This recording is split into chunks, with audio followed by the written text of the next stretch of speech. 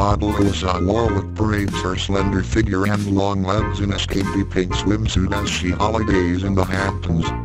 She appeared on Britain and Ireland's Next Top Model back in 2012. And Louisa Warwick was showing off her model credentials when she hit the beach during a holiday to the Hamptons, New York this week, flaunting her fantastic figure in a bubblegum pink swimsuit.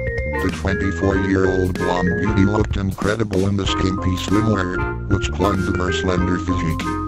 Louisa made the most of her gym bone frame in the body form one piece, showing off her flat stomach thanks to a cutout at the waist. The pin-up set off her look with a gold chain hanging from her décolletage. She wore her long dresses down in loose waves and set off her pretty features with minimal makeup. While her season of the INTM crowned then 18-year-old Letitia Herod as the winner, it is Louisa who has proved to be the true success story. She has fronted campaigns for Cadillac, Treason and Calvin Klein and landed covers and editorials in magazines such as Vigora, Company and L'Officiel.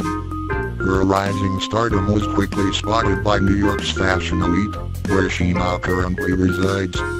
Louisa is also a full-time sports management student at New York University a result of her national cross-country champion honors for two years in a row.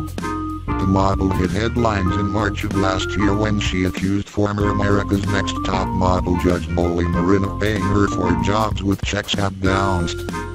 Lawyer Mark J. Hiller, representing model Louisa, told the New York Daily News she had been mailed to checks for more than $8,000 from the owner of AIM Model Management, but neither were able to be cashed. A spokesperson for the agency said the blonde beauty was released from her contract for cause. Despite the controversy, the model is high in demand and, according to Models on Trend, ensures she eats three full meals per day and works out four times per week to keep her figure in check. However, she is a firm believer in inner confidence as she told Modelist did. I'm a strong believer that beauty comes from within to look great in front of a camera I would say it is important to let your personality shine through.